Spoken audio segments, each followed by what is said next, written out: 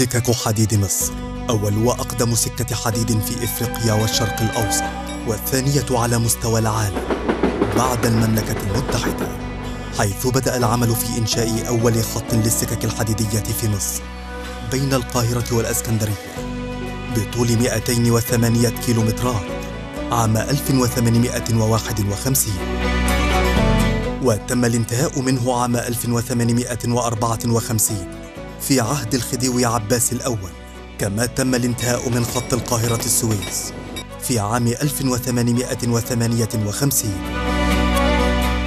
ومع زيادة الاعتماد على هذا المرفق الحيوي نتيجة التطوير العمراني والحضاري والزيادة المتسارعة في النمو السكاني واتساع الرقعة الجغرافية المأهولة بالسكان. كل ذلك أدى إلى زيادة الاعتماد على شبكة خطوط السكك الحديدية. ولقد مر هذا المرفق الحيوي بمراحل تطوير متعاقبة عبر تاريخه لكنها لم تكن لتواكب الازدياد المتعاظم في عدد السكان وعدد مستخدميه وهو ما أدى إلى فترات من التراجع في شتى قطاعات السكة الحديد والتي انعكست سلبيا على مستوى الخدمة المقدمة لجمهور الركاب فقبل عام 2014 كان هناك عدد كبير من التحديات حيث كان متوسط أعمار الجرارات بالهيئة 35 عاما. معظمها متهالك بشكل كبير كما أن أسطول عربات الركاب كان متوسط أعماره من 30 إلى 40 عاما. وأسطول عربات البضائع يعاني من الإهمال بالإضافة إلى تهالك البنية الأساسية من سكة ومحطات ومزلقنات وتقادم نظم الإشارات. ووسائل السيطرة على مسير القطارات وسوء حالة الورش وتقادم المعدات. وفي عام 2014 قالت القيادة السياسية كلمتها واتخذت قرارها. لن نقبل إن إحنا يبقى مستوانا كده ولا أدائنا يبقى كده. لازم ننهض ببلدنا ونقوم بيها وبفضل الله سبحانه وتعالى هنقوم بيها.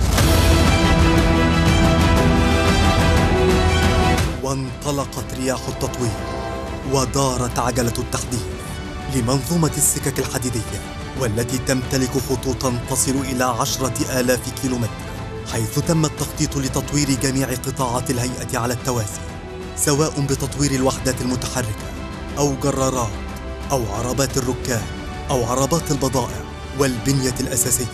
من خلال تجديدات السكة وتطوير وتحديث نظم الإشارات والاتصالات على جميع الخطوط الرئيسية للشبكة لزيادة معدلات السلامة والأمان وتطوير الأعمال المدنية والمحطات ونظم التحكم لجميع المزلقنات وكذلك رفع كفاءة وتطوير الورش المختلفة. ولم تغفل وزارة النقل العنصر البشري والذي تم التركيز على تأهيله ورفع كفاءته حيث تم إنشاء المعهد العالي لتكنولوجيا النقل بالسكة الحديد لتخريج كوادر جديدة قادرة على مواكبة التطور الكبير في هذا المجال بالتوازي مع تدريب وإعادة تأهيل العناصر الحالية بالهيئة من خلال تنفيذ دورات تدريبية مكثفة بمراكز التدريب الموجودة بمناطق الهيئة المختلفة ويهدف هذا التطوير إلى زيادة طاقة النقل للركاب. بشبكة السكك الحديدية للوصول إلى طاقة نقل تقدر بواحد ونصف مليون راكب يوميا بحلول عام 2024 ثم مليوني راكب يوميا بحلول عام 2030 بدلا من مليون راكب يوميا حاليا.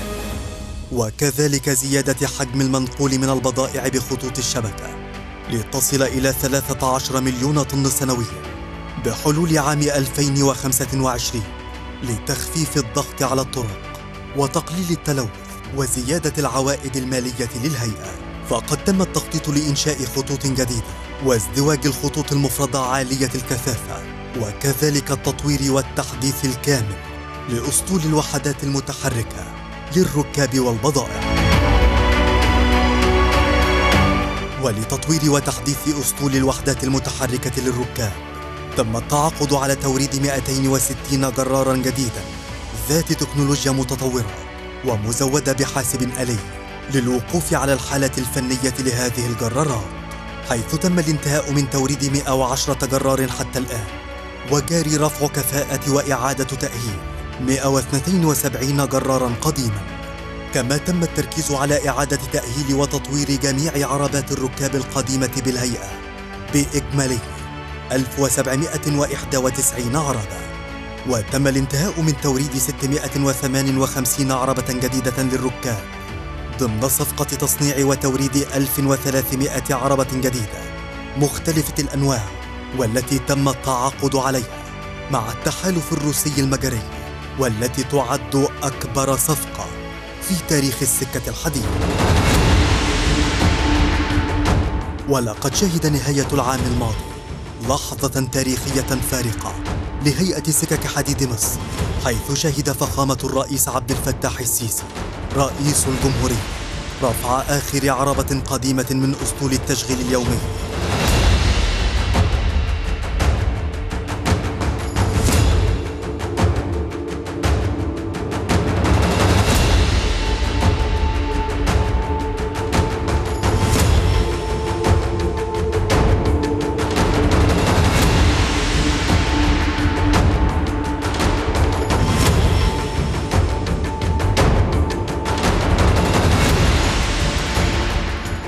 لتصبح كافة عربات أسطول التشغيل اليومي جديدة أو مجددة بورش الهيئة والتي تم التخطيط لتطويرها بالتعاون مع الشركات العالمية الموردة للجرارات والعربات للارتقاء بمستوى خدمات الصيانة والعمرات بهذه الورش وزيادة معدلات السلامة والأمان.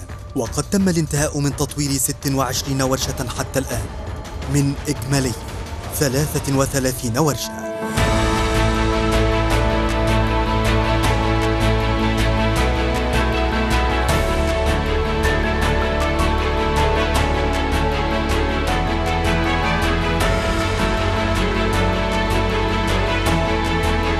وفي مجال تدعيم أسطول عربات الركاب فقد تم وصول القطار الأول من إجمالي سبعة قطارات من شركة تلجو الإسبانية العالمية وجاري أعمال التشغيل التجريبي للقطار حاليا حيث تمتاز قطارات تلجو بالسرعة التشغيلية العالية التي تصل إلى 160 كيلو مترا على الساعة وتحقيق مستوى أعلى من الرفاهية والأمان للركاب من خلال شاشات عرض لكل كرسي.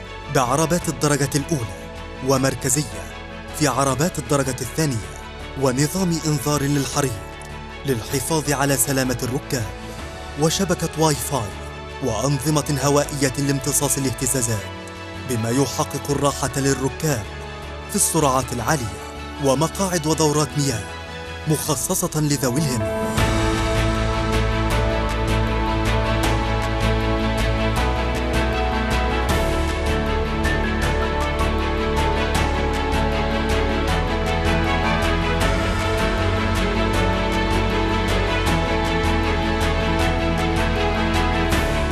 اهتمت وزارة النقل ممثلة في الهيئة القومية لسكك حديد مصر بمجال نقل البضائع حيث تم التعاقد مع مصنع سماف التابع للهيئة العربية للتصنيع لتوريد 1215 عربة بضائع جديدة أنواع مختلفة كما يجرى حاليا اتخاذ إجراءات فعلية لتحويل قطاع نقل البضائع إلى شركة بمشاركة القطاع الخاص لإحداث نقلة نوعية هامة. في هذا القطاع الحيوي الهام. سكك حديد مصر تنقل أكثر من مليون مواطن يوميا و375 مليون راكب سنويا وتخدم كافة محافظات الجمهورية.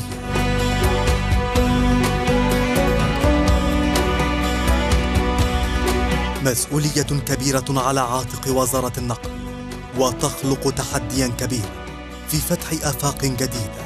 للمواكبة المستمرة للتطوير الحادث عالميا في مجالات النقل المختلفة وبما يليق ببلد عريق اسمه مصر وبالجمهورية الجديدة التي أرسى قواعدها فخامة الرئيس عبد الفتاح السيسي رئيس الجمهورية.